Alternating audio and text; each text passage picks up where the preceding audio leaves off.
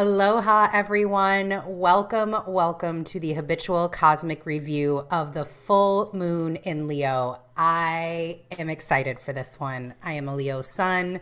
This is one of my favorite moons of the year. It just gets really into that primal leonine energy. Um, I did do the tarot for the moon yesterday, and those turned out fantastic. I'm so excited. They should be up on YouTube in the coming days. So, very, very interesting, very cool energy that we are playing with. Hello, Heather, Leo Sun there too. Awesome. Good to see you here. Um, as a reminder, this is intended to be active and engaging, definitely not a spectator sport. Heather understands the assignment. I love it. So while I do some housekeeping, feel free to put your location in the chat and then get your natal chart handy. And for those of you that will be watching on YouTube later on when it's posted live there, you can feel free to leave any comments. So, some housekeeping items. First off, starting from this moon forward, I will be posting these recordings onto YouTube the day before the actual moon or the month occurs. Typically, I do it right after the event. I'm switching that up. So, the only way to get this info ahead of time is to register via Crowdcast. Now, registering via Crowdcast does not mean that you have to attend live. That's why I chose Crowdcast as the platform. Um, it just means that you have access to it. So you can come back to Crowdcast if the time didn't work with your calendar and watch it even after the um, the live crowdcast has completed. So that's the great thing about registering. This just allows you to prepare a little bit earlier for the moon and for the energies that you might be experiencing. Um, all Crowdcast events are up for February and March, so you can go ahead and register, get those on your calendar, get reminders, get updates, etc. And then the date and time of all the charts and the moons and everything that I use are from my location here on the islands of Hawaii. So, for example, this full moon in Leo is at 28 degrees from my location on February 16th at 6:57 a.m. Hawaii Standard Time. So you'll want to make sure to do the appropriate calculations. So let's get started. Make sure you got natal charts and you've got um, Excellent. Thank you, Heather. Orange County showing up. I love that. Um, so right now until March, you're two hours. So this would actually be six, seven, eight fifty-seven a.m. your time, your local time.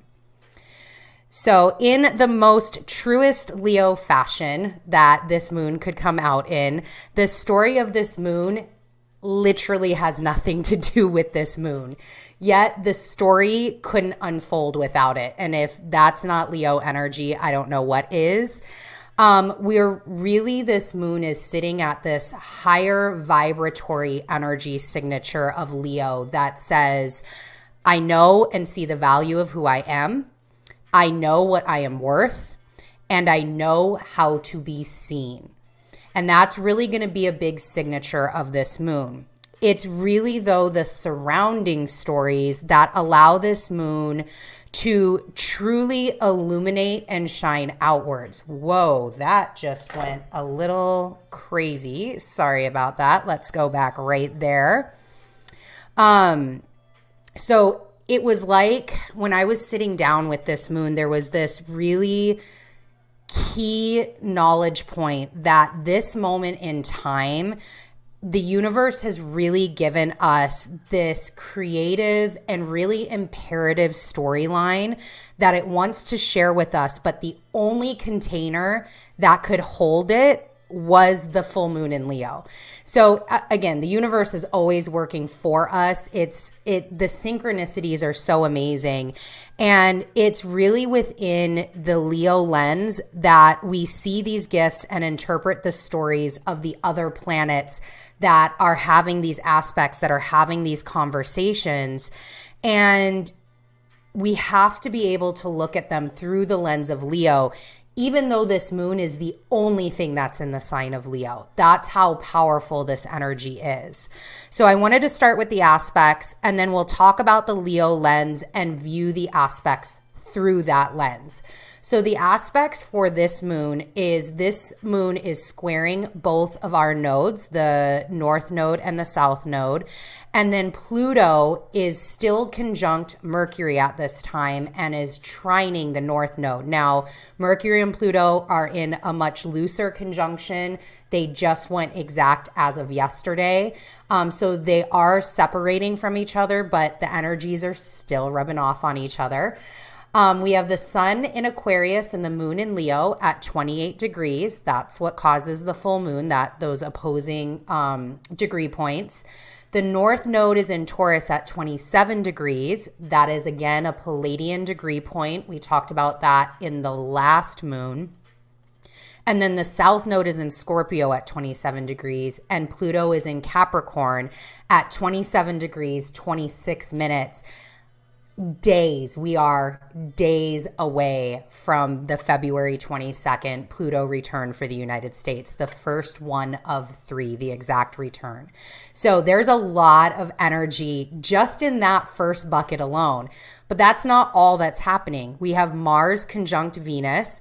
Mars is in Capricorn at 16 degrees 58 minutes. Venus is in Capricorn at 16 degrees 57 minutes. And then on top of all of that, Jupiter is sextiling Uranus. So Jupiter in Pisces at 10 degrees 55 minutes, and Uranus at Taurus, which when I pulled this, I was so delighted to see that Taurus was at 11 degrees 11 minutes. So if you're into numerology and divine numbers, angelic numbers, 1111, great portal energy. We're in the midst of an open portal right now with Pleiadian degree points and the Pleiadian energy coming in. So all the synchronicities are just happening right as they should be.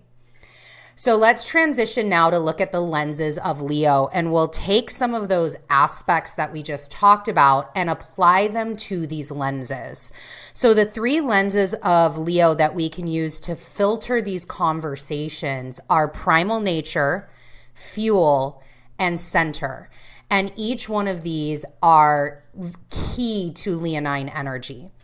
Primal nature. So, a lot about this moon is this concept of adventure and curiosity and creativity and how you use those in order to create the life that you're living and the life that you're cre- like actively co-creating with the universe to bring you forward into whatever you are manifesting.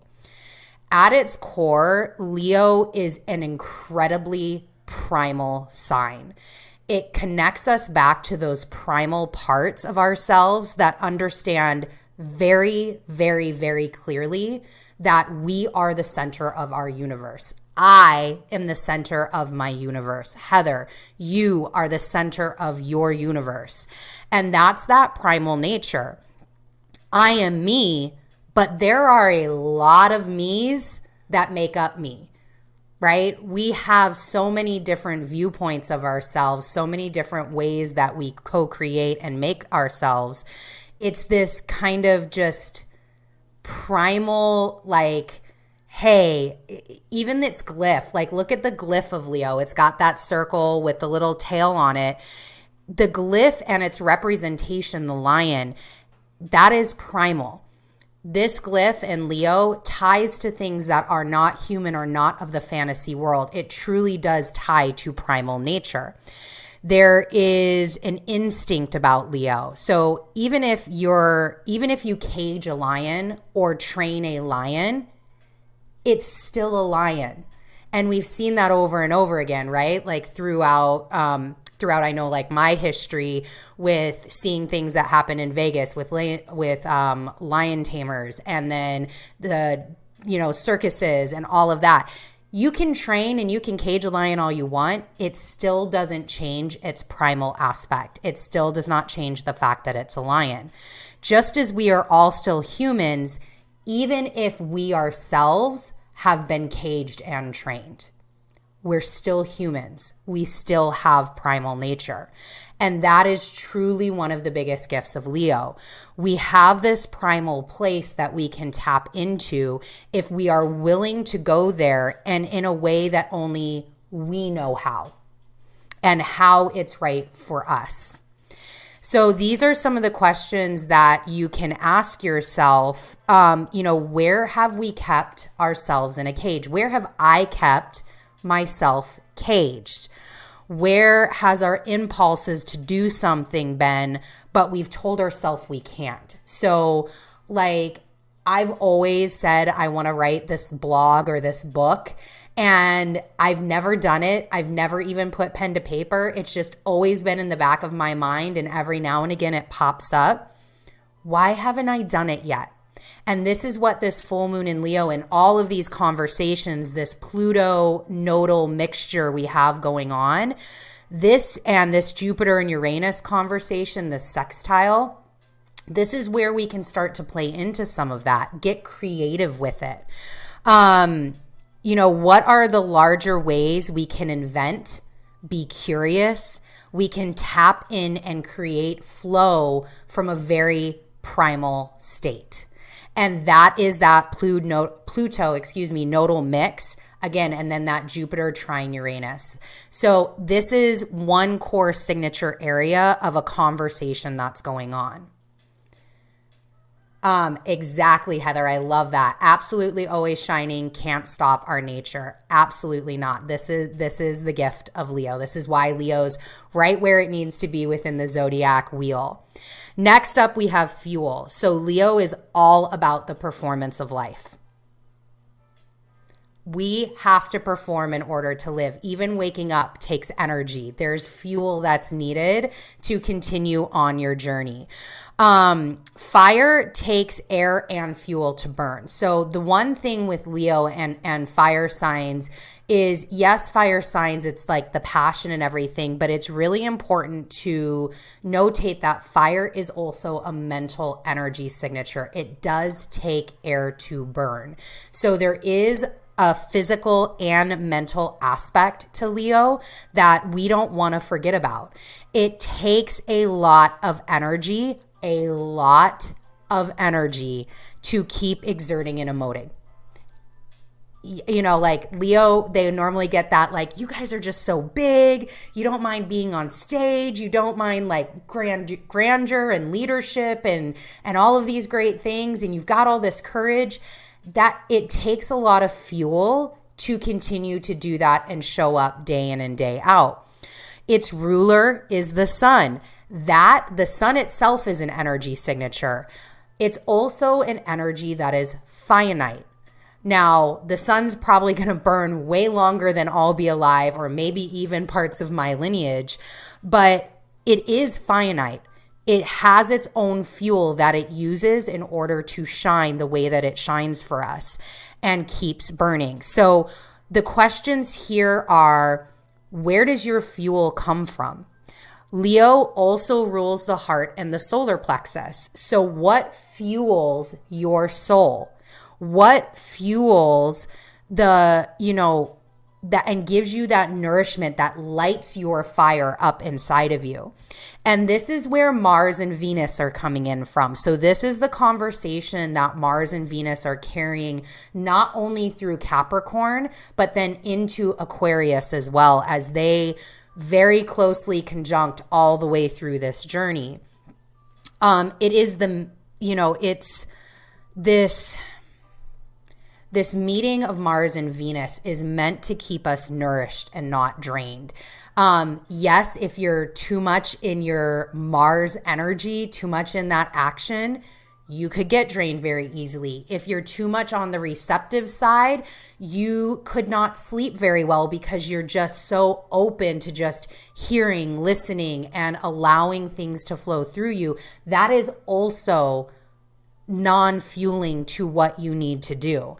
And where in your life are you drained of your resources? And how do you, instead of being drained, how do you change that to nourishment? How do you find your nourishment? And that is another lens and part of this conversation um, that we need to think through. And one of the things that I noticed over the course of this week, and as we get closer to this moon, I'm being very called to like, you need to stop work you need to put down everything and you need to spend a day out in the sunshine, out, you know, near the water or go for a ride or go hiking.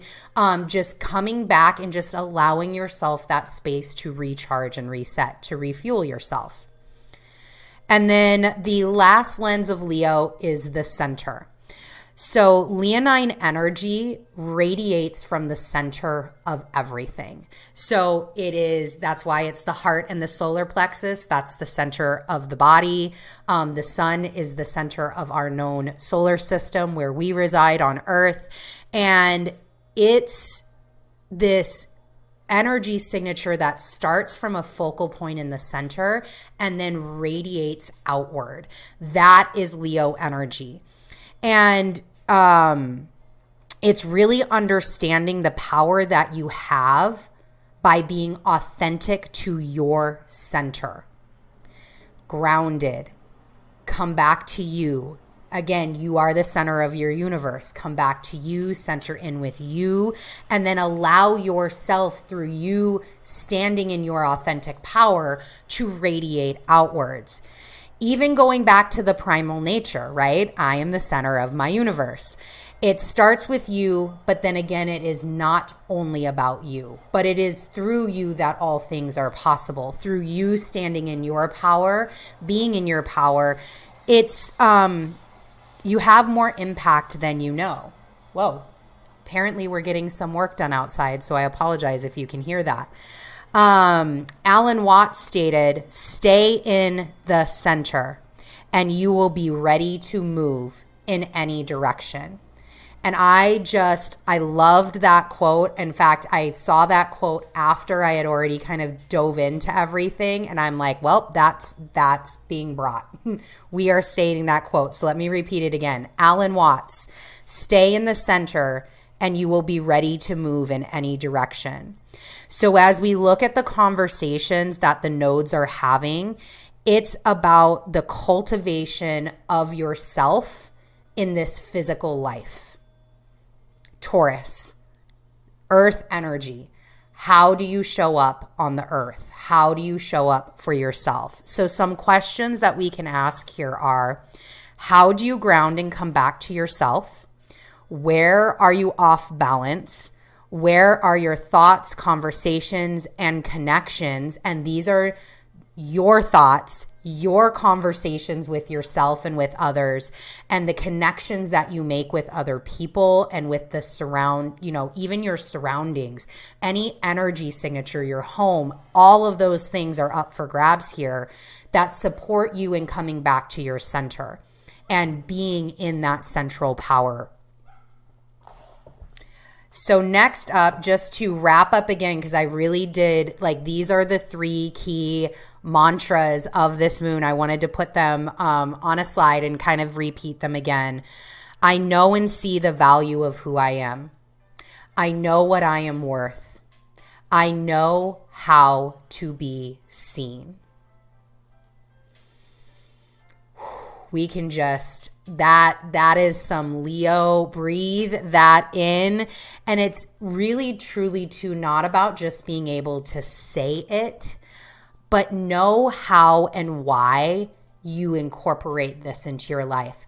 How do you see the value of who you are? Why is that so important to you? What do how do you show the world what you're worth how are you seen why is that important? And kind of just really dig in because it's not about just saying the words, it's about truly connecting to them and seeing how you use them within your life and in the physical world heading over to the chart of the moon. So all the glyphs are on this right hand side, with the exception of Pluto. This is the only glyph I could find of Pluto from the keyboard perspective.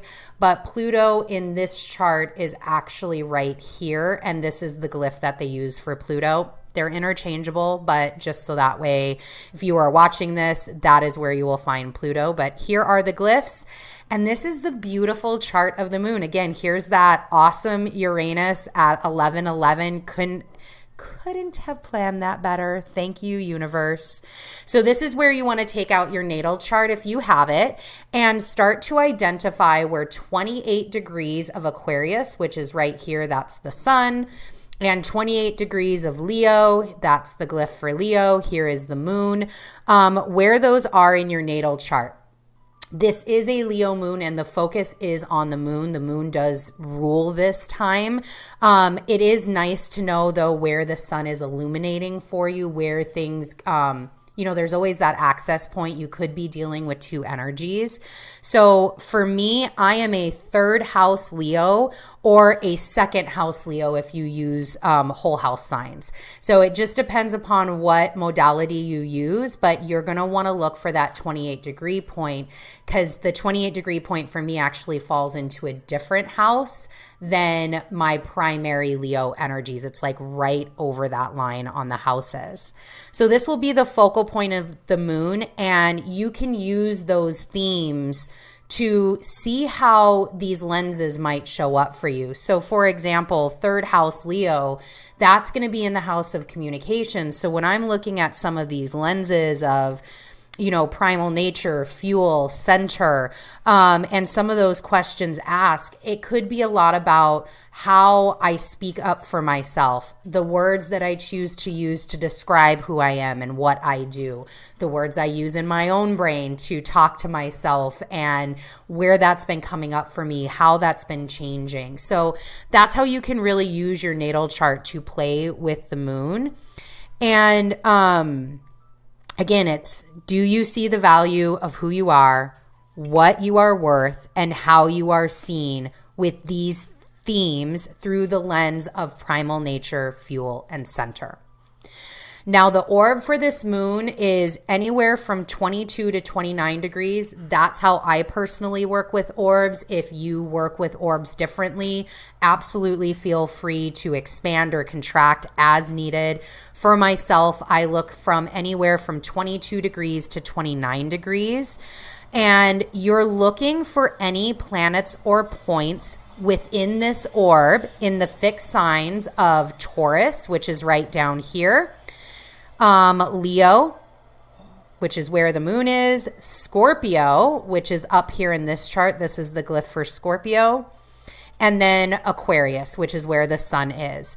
So if you have any planets or points between 22 and 29 degrees of any of the fixed signs, um, this is really, this moon can really be pinging and, and felt more um, energetically through fixed signs. And it's a way to see something and connect to what you need to keep going. There this moon is really um highlighting like hey, you're maybe you're feeling like hey, I've got I need to take this to the next step or I've been super diligently putting in the work and I I feel like I'm at a space where I'm just not sure what the next step is. I'm I don't know where to go or I'm just going to keep trucking along, but is this really the right thing? Do I really need to keep going this direction?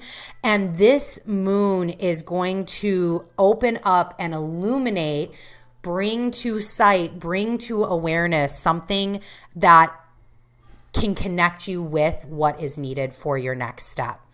Um and then there's a lot for fixed signs about what are you doing in this moon that is not just for you, but how does that incorporate to others, right? We've got the sun in Aquarius, we have Saturn in Aquarius. We're about ready to get into Pisces season.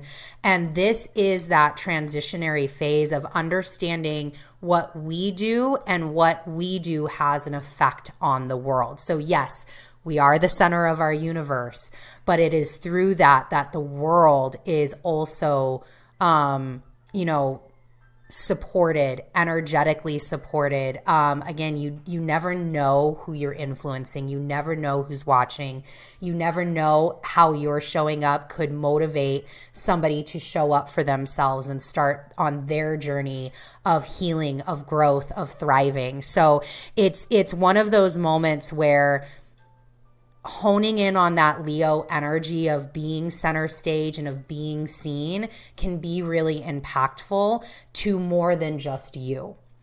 And then um, one other thing is this moon again it's a lot about some of these other conversations so i do and i have been really encouraged myself to look at what i've been going through what lessons i've been have been presenting for myself over this January and up to this point of the moon, but especially in January as Venus has gone retrograde in Capricorn, as Mercury has gone retrograde, Capricorn, Aquarius. I should say Aquarius Capricorn since it started in Aquarius and, and retrograded back. Um, how Pluto's been working with me in January, as well as um, how these nodal shifts that occurred in January. What are some of the things that like kind of taking stock almost of all things that have been happening and seeing how they like a puzzle, seeing how they all connect together, seeing how each little thing that I'm going through is taking me in the direction that I'm going. Or um, again, maybe that, maybe in just that simple thing of putting these puzzle pieces together, that's where that veil is lifted and you see oh, I get this connection point now. That's what I need to go forward. I get it. So I have, for my personal self, I have been called to kind of really look into that. So that might resonate with somebody else out there. So I just did want to um, bring that up that again as we kind of go through all of these energies and work with these energies um there's a lot happening out there and that's and and that's okay. That's by design. This is happening for us. It's not happening to us. So um, we are all doing work together. All right, that is all I had. Let me get to here. That's all I had for this full moon. This is the energy signatures and let me go ahead and unfocus here this this is it. I am so excited for this moon again. The tarot readings will be up shortly. Um, they were wild. It it was a whole vibe as Leo should be. Um, but definitely keep in touch. Make sure to follow on Crowdcast, register for any future ones. And then if you think somebody else would find value, feel free to share with your network. Um, I really appreciate everybody joining me. I will have two live workshops in March that you can register for now. We'll be going over and diving deep into planets, and then also another one for planets and Orishas. And um, our next event for the moon will be February 26th for the new moon in Pisces. And then we'll have um, the March following that the very next day. So the QR code that you see on your screen will take you to all things habitual sages. So you can keep in touch, find me on the socials and on YouTube. And Heather, thank you so much for joining me. Mahalo, everyone. See you later. Bye.